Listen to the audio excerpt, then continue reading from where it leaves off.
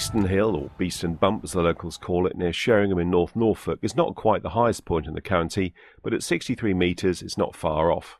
That's why Jim and I decided to operate some low power amateur radio from the hill on what turned out to be the hottest day of the year. Beeston Hill is no stranger to radio. During World War II, it was a location for a secret Y station that intercepted German transmissions and passed them to Bletchley Park. In fact, you can still see its concrete foundations. You can see why they built the site there, as it gives a fantastic view of the North Sea from the coast. It's also home to a trig point, but it's a bit windy as you'll hear. Now here comes Jim, G3YLA. He's going to start us off with 2 metre VHF operations with a small Yagi antenna and his Yaesu FT817.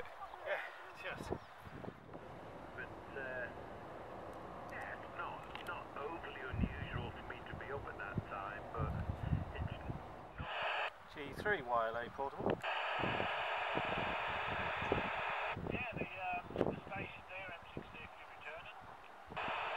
Yeah, M6 CFU. Um, this is Golf 3 Yankee Lima Alpha Portable on Beeston Bump.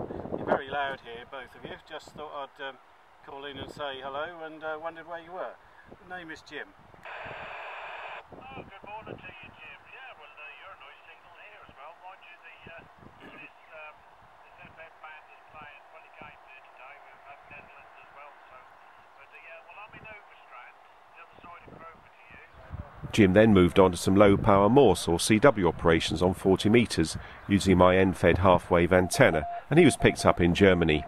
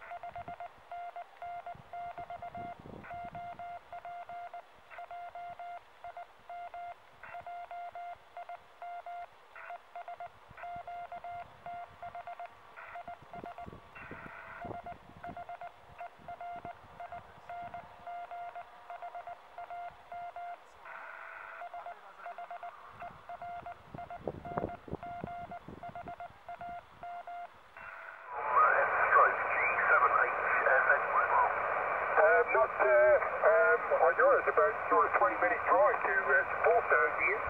Um, and I'm um, about uh, the same distance from the Tamar Bridge. Will give you an anchor on where I am. Um, and uh, I'm up in the town of uh, Gunnington, which is uh, on, the, on the Dartmoor side.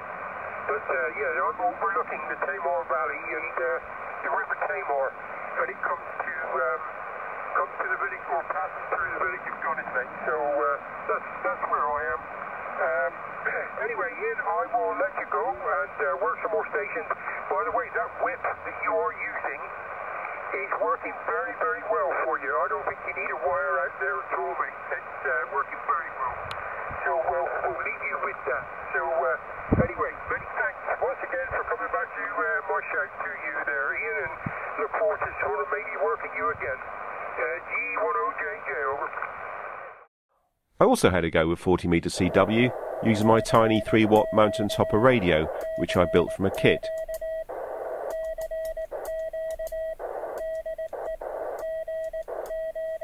I managed to work Peter G3XJS in Kent, but the heat and poor radio conditions got the better of us and we called it a day.